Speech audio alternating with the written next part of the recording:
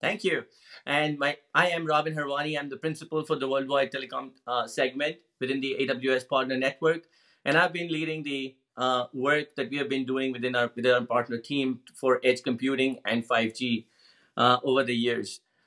So for us, 5G and edge computing has been a journey. Over the last four years, we started in 2017 when we started with edge networks.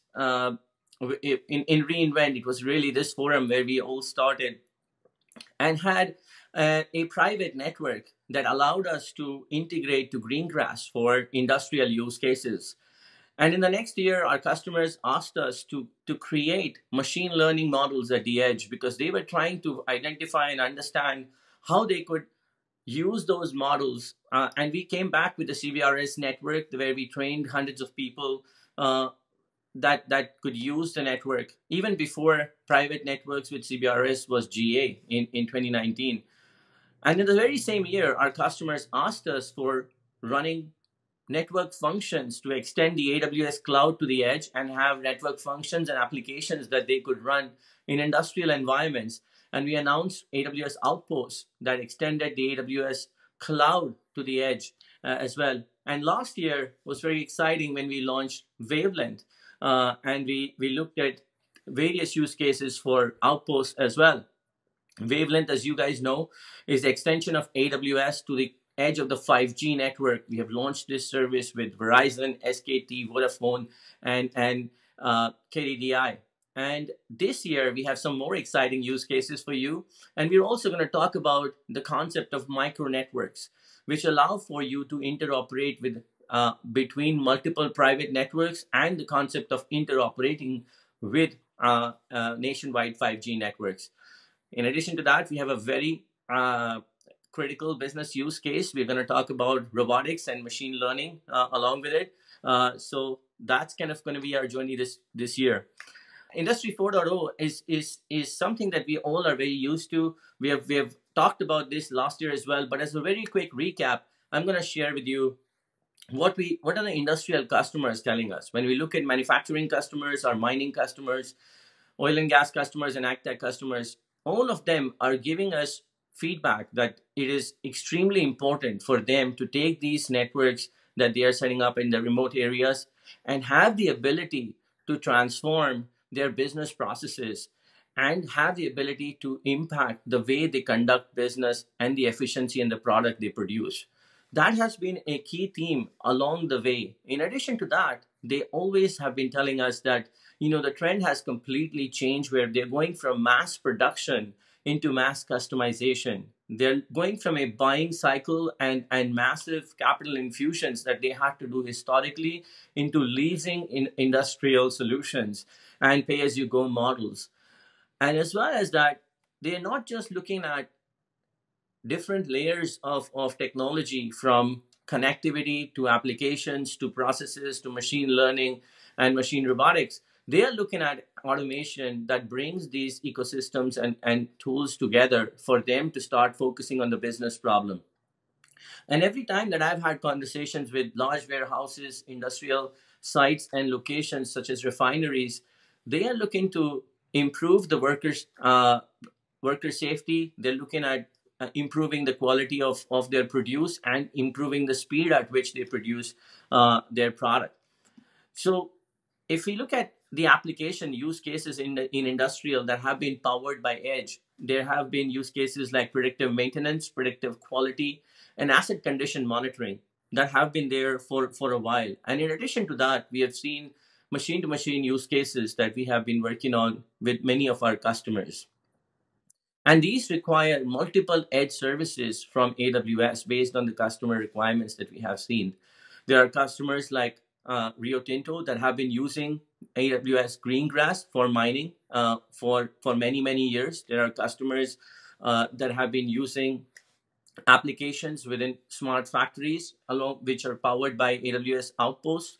And we have launched many, many customers uh, that have been using wavelengths uh, at their industrial ports and, and at locations where connectivity is, is available through 5G, where, where they can uh, leverage uh, low latency applications that they deploy at the edge of the 5G network to get a 10, 10 or a single digit millisecond latency uh, experience.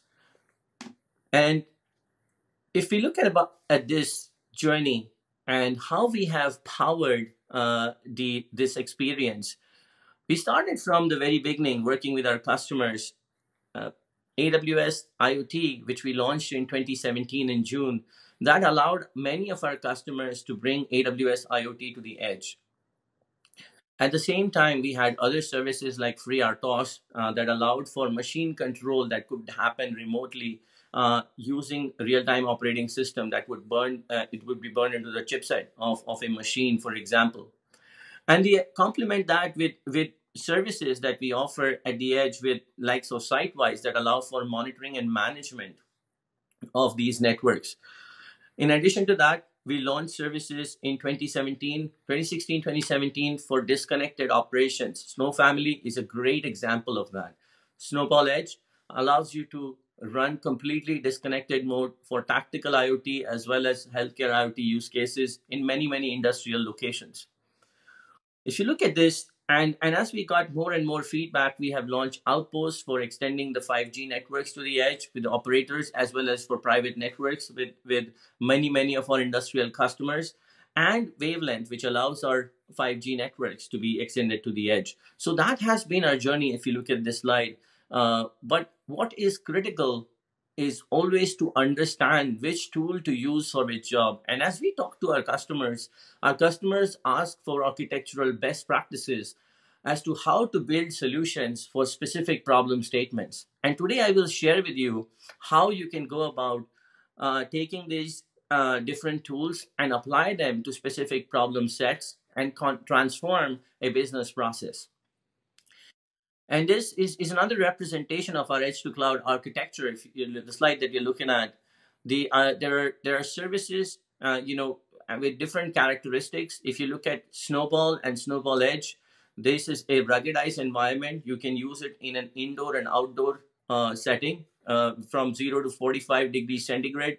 There is no problems. You can even take it in sub-zero and, and, and you know, you know, if you've all seen the, the video from Bill Vass where he's putting it in an oven so uh, that's that's uh, the Snow family of devices. When you look at the on-premises cloud extension platforms like Outpost, that allows you to take many many AWS services and extend that to the edge of the network. This is things that we have used for many years. Things like EC2, EBS, VPCs, uh, uh, things like uh, having the same guardrail experience from orchestration and management perspective, the same cloud formation templates.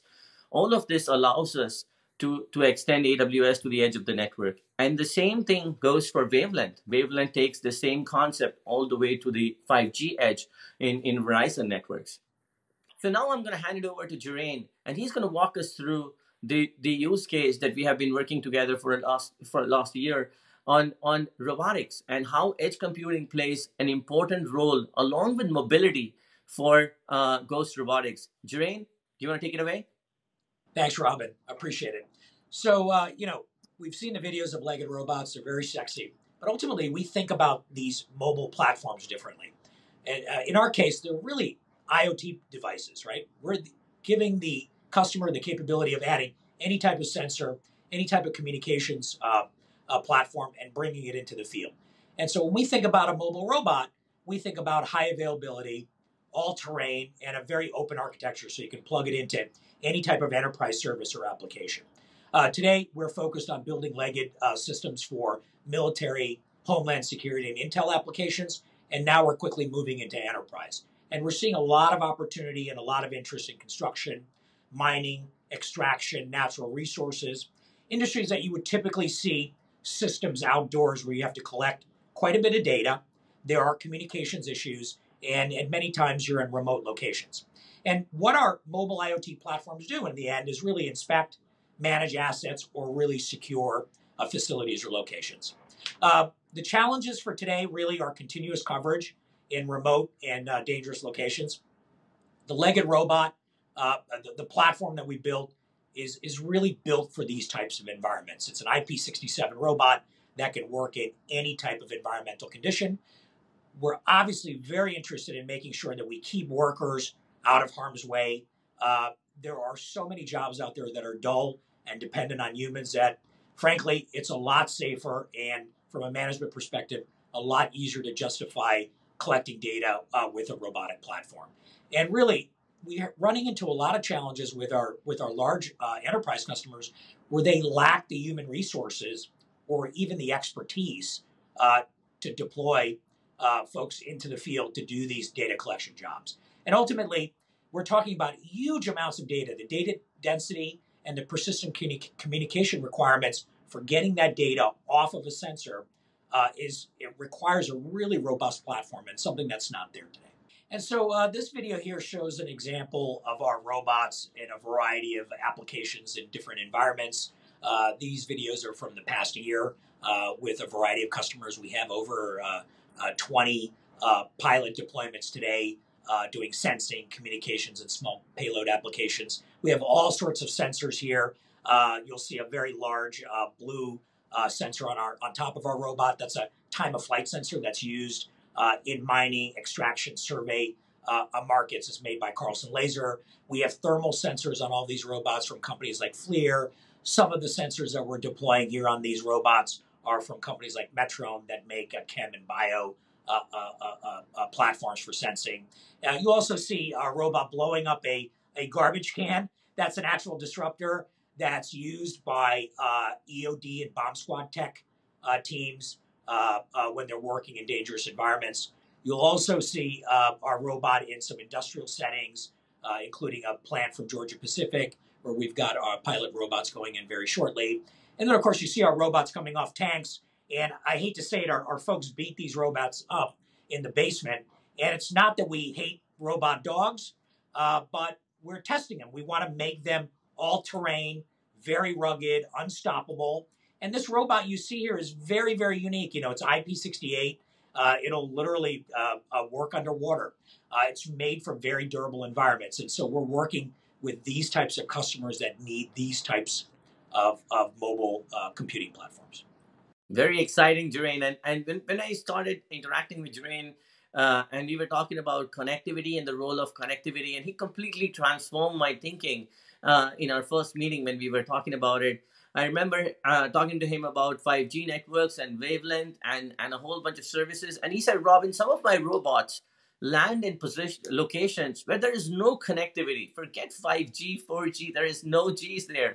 And there are requirements at times where these robots need to interact with each other, meaning two different private networks interacting with each other, and interact with different devices that are on a human uh, to interact with them. And in some cases, uh, uh, you know, uh, they need to interoperate with legacy equipment. So it's not just connectivity and security and legacy equipment that they have to interact with, along with many, many devices, but they also need to have a very reliable connectivity because you're, as he said, uh, it's not just a matter of uh, a machine process working or not working. This is uh, a, a, very important uh, area of of uh, robotics. This is uh, about human safety and and worker safety in industrial environments as well, along with uh, the performance requirements in terms of low latency. So uh, the problem statement after talking to Jiren completely changed and, and we started looking at uh, different types of, of requirements from him in terms of micro networks. He, he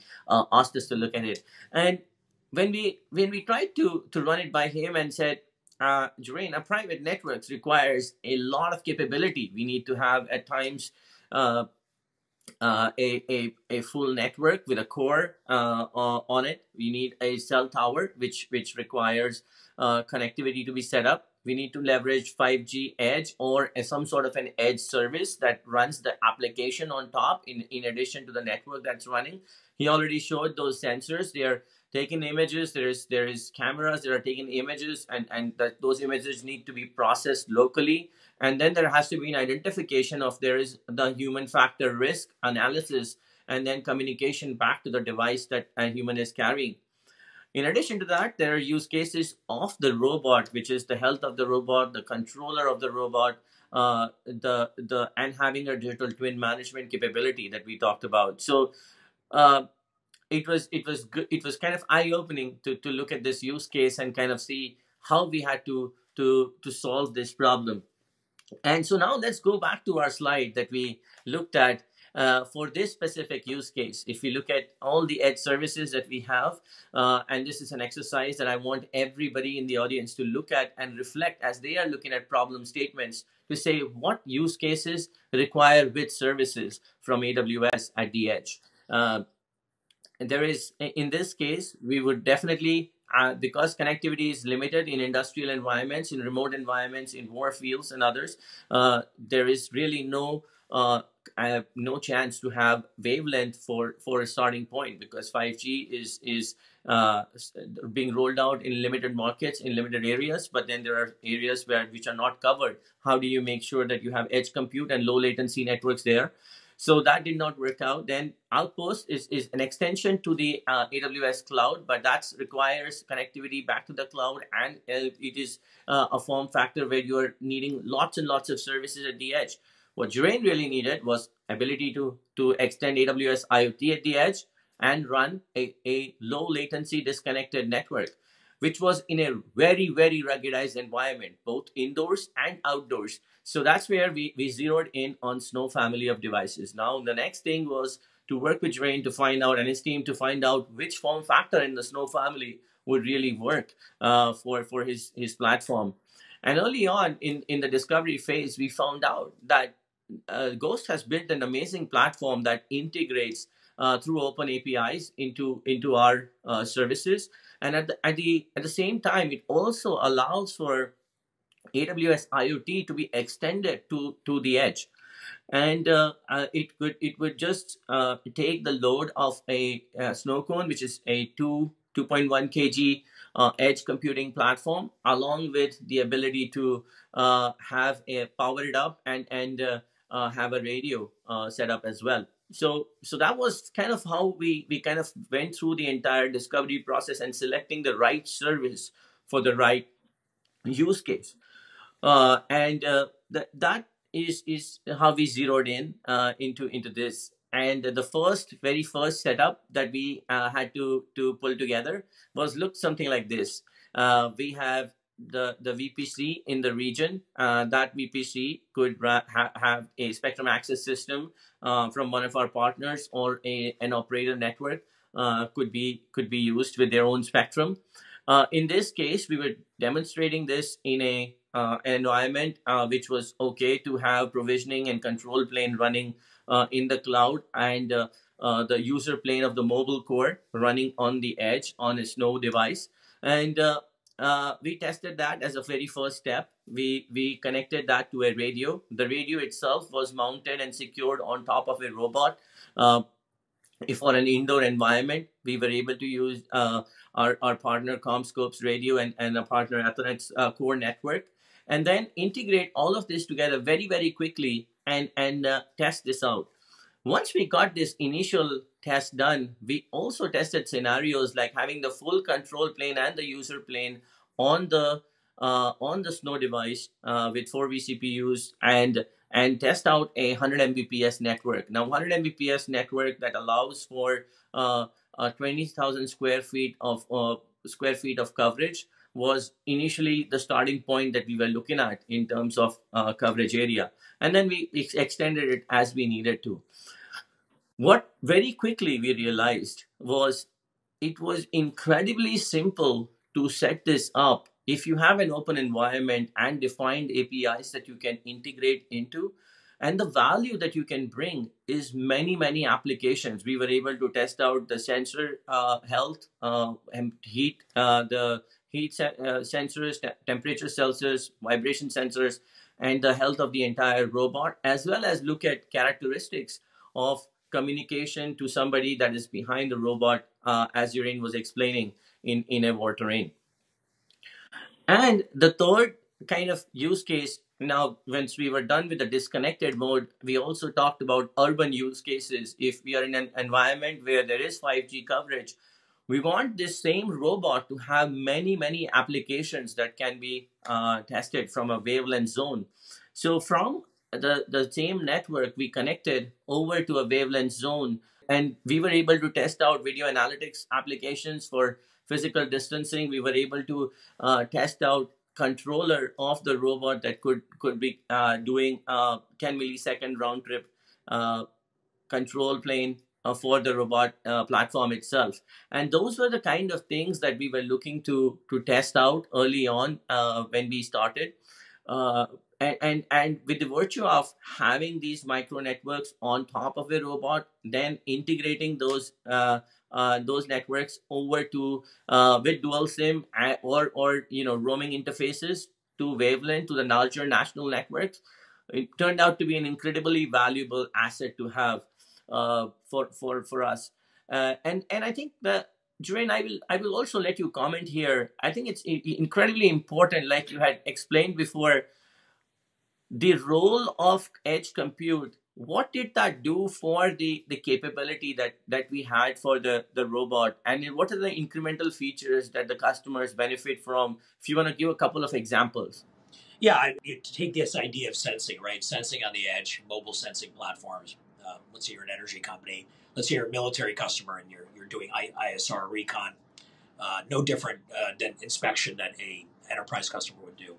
The amount of data that's being collected is, is enormous. And some of that processing that can be done there in a hybrid environment creates some complexity. And ultimately, that complexity is that bottleneck in terms of communications. And so uh, the robot is also moving, right? It's in an environment where it has to be controlled. There's got to be a telemetry feed. And so there's a lot of uh, challenges around security, provisioning of these devices, pulling one device off, having multiple devices in.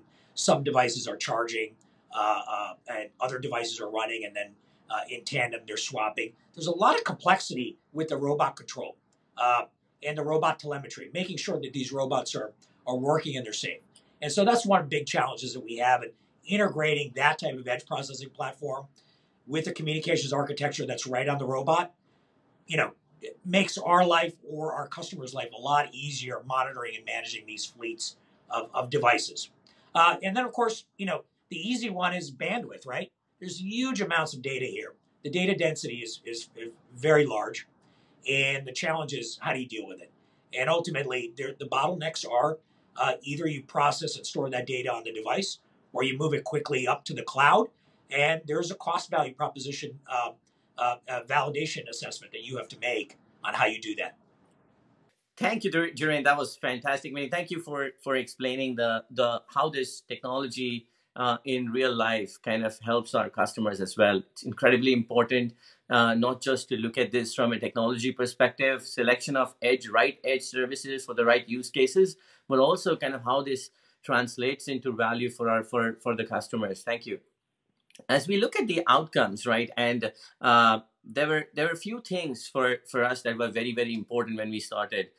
The first thing, uh, having the connectivity in a uh, in in disconnected areas, having low latency networks, uh, integration in connected areas with wavelength, and then uh, you know, we did not talk about this. We also use AWS RoboMaker for gazebo simulation. So let me just share how uh, this the experience came to life, right? If you look at this robot, uh, it has a Snowcone built mounted on top of it. It allows for an entire mobile core to run on on it. It's powered up. It's connected to a radio that is transmitting uh, uh signals across uh, a 15 to 20,000 square feet uh, area. You can easily extend that by selecting a different radios category, and it you can see that uh, it is allowing for uh, applications that, that can be uh, run uh, in a disconnected mode to be implemented on the edge of the platform.